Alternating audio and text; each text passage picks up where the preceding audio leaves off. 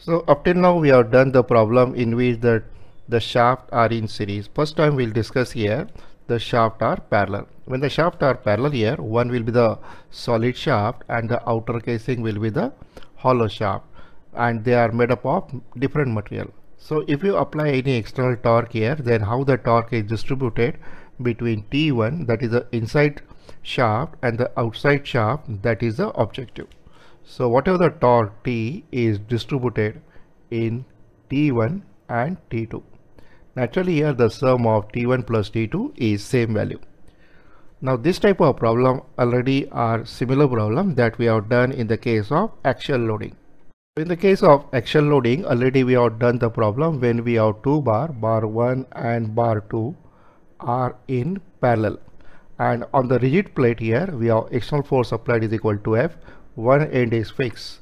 So in this case we have to show the two reaction at this point. So this bar may be subjected to the force equal to F1 and the second bar will be subjected to force equal to F2.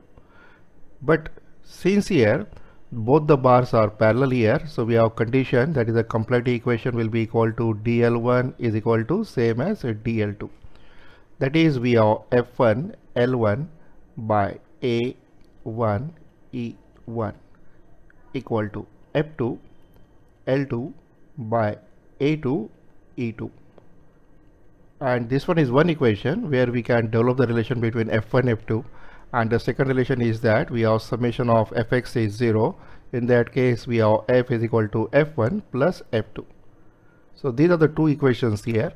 And we have two unknowns in this case. One is f1 and f2 and we are comfortable to solve this type of problem almost same analogy will be used in the solving the problem of composite analysis. Here we have the linear deformation and in the case of composite shaft we have angular twist. So angular twist for inner shaft that is a solid shaft will be same as for the outer hollow shaft. So strategy is almost same strategy that we have done in the case of axial loading. In this case, we assume here the inside core of diameter D1 is a steel core, which one is a solid shaft, and outside is a aluminum jacket, which one is a hollow shaft. We labeled it as 1 and 2. And this arrangement is fixed at one end and at other free end we apply the total torque equal to T. So similar to the axial loading, we'll say here T1 is a torque carried by the steel core and T2 is a torque carried by aluminum jacket. In that case, we can develop the equation that total torque T is distributed between the steel core and the aluminum jacket. That is, we have T1 plus T2. So this is equation number one we obtained using summation of torque equal to zero. The second equation is a comparative equation since we have a parallel shaft here for composite shaft that is a for parallel shaft the twist is same so we have to take the value of theta equal to T1 L1 by J1 G1 that is for steel core and for theta for the aluminum jacket is T2 L2 by J2 G2. So in this fashion we can obtain here two equation. We can substitute here for T1. So in this case we have T1 equal to theta multiplied by J1 multiplied by G1 divided by L1 and T2 will be equal to theta multiplied by J2 multiplied by G2 divided by L2 and this substitution we can do in the above equation and we can solve for theta by L. And therefore we can find out here twist. Once we know the twist then we can find out the value of T1 and the value of T2 so if we do this substitution for T1 T2 in the equation 1 so we have total torque equal to j1 g1 theta by l1 now this time we our length is same so it is better to write l for both. L1 is same as l2 plus we have j2 g2 multiplied by theta divided by l. Theta by l is common here so we can calculate here deformation per unit length will be equal to torque t. And whole thing is divided by j1 g1 plus j2 g2 so this is a strategy in solving the problem of composite. One equation is T1 plus T2. For composite shaft that is for parallel shaft theta is same. So we can equate theta and we can solve in terms of theta by L. So we'll take a numerical here on the parallel shaft. End B is fixed to the wall. At end A we are applying a torque equal to T. We have steel core which one is a solid shaft we labeled as 1. We have aluminum jacket which one is a hollow shaft which one is labeled as 2. We have diameter D1 equal to 54, diameter D2 is equal to 72 and length equal to 2.5 meter. So a 4 kilonewton meter torque T is applied to the end A for the for the composite shaft as shown. Knowing that the modulus of it is 77 gigapascal for steel and 27 gigapascal for the aluminium, determine the maximum shearing stress in the steel core, maximum shearing stress in the aluminium jacket and the angle of twist at A.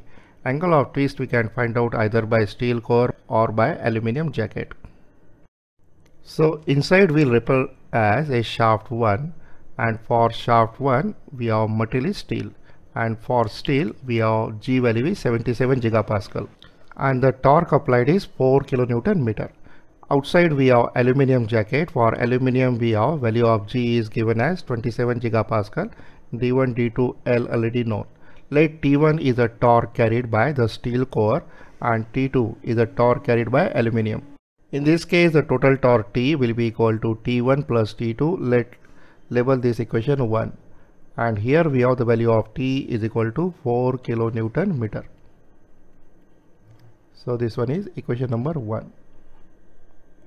We have to calculate here the shear stress in the steel core, the shear stress in the aluminium jacket and the angle of twist at A. Now since we have a parallel shaft that is a composite shaft so in this case the value of theta A is remain same for both so we have theta a we can calculate either by using the torque carried by the steel core which one is t1 multiplied by l divided by j into g so we'll call it as t1 j1 g1 length is same. Is equal to t2 multiplied by l divided by j2 multiplied by g2 so instead of theta a I will use only theta because that will be same value.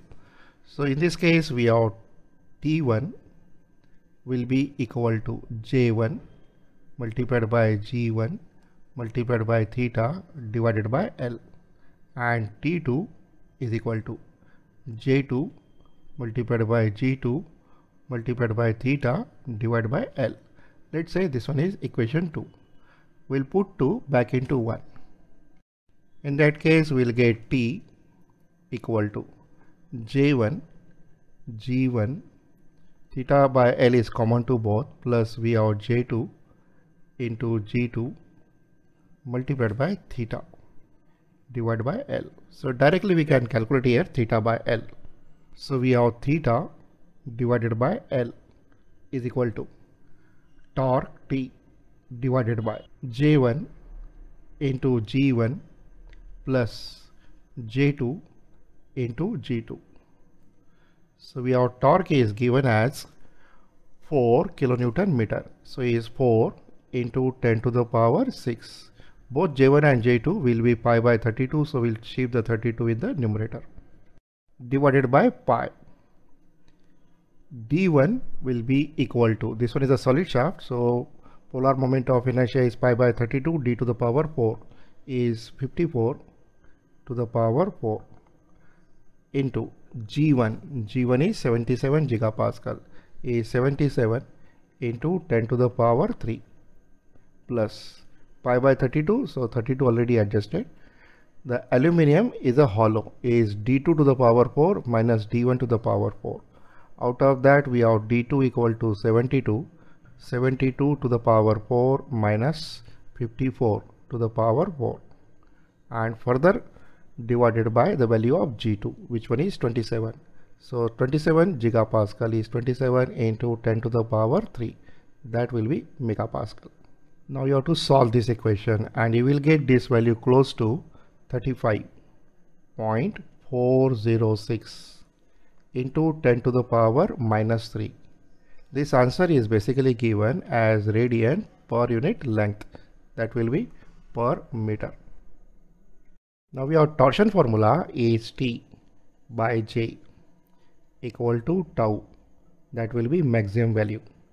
divided by outer radius is equal to g multiplied by theta divided by L.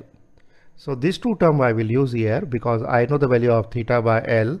I know the value of G for the steel core as well as aluminium. So we can calculate here the maximum shear stress in the steel as well as aluminium. So let's calculate here value of shear stress in the steel. So shear stress in the steel that is suffix 1 you have to use. Which one is G1 multiplied by R outer. For inner shaft, we have radius is d1 by 2 multiplied by theta divided by L. So we have value of G1. For steel, you have to use suffix 1. G1 is 77. So we have 77 into 10 to the power 3. That will be mega. D1 by 2. D1 is 54. So we have 54 divided by 2 into 35 0.406 into 10 to the power minus 3. So this one is per meter. So I will divide further here by 10 to the power 3 so that it will become radian per mm. Now you can solve this value. You will get the value of the stress that is the shear stress in the steel is close to 73.6 megapascal. Again we repeat this for aluminium. So we have shear stress in the aluminium will be equal to G2. Now aluminium is a hollow shaft for which outer diameter is D2. So this time you have to use D2 divided by 2 multiplied by theta divided by L. So we have G2 value for aluminium is 27 gigapascal. So we have 27 into 10 to the power 3 d2 is equal to 72 so we have 72 divided by 2 into theta by l. Again you have to take this value as radian per mm. So we have 35.406 into 10 to the power minus 3 this is meter. So you have to divide it by 10 to the power 3 that will be mm. Now solve this and you will get the shear stress in the aluminium is close to 34.4 megapascal and finally we have to calculate what is the value of twist at free end so we have theta equal to that is theta a equal to theta by l multiplied by l. Now here is meter. So you have to take this is meter. Theta by l is 35.406 is 10 to the power minus 3 is radian per meter. So length this time we'll take in meter that is 2.5 meter. So that meter and meter will cancel out and we can find the value of twist in radian is 0.0881 that will be radian. To convert into degree we'll multiply by 180 divided by pi. So we have 0.0881 multiplied by 180 divided by pi. This answer is 5.07 degree. The video you are watching is from the app which is the Mohod class app available on Google Store and in this app we'll cover all subjects involved in mechanical engineering for GATE. Join the course directly from your mobile. The link is given here.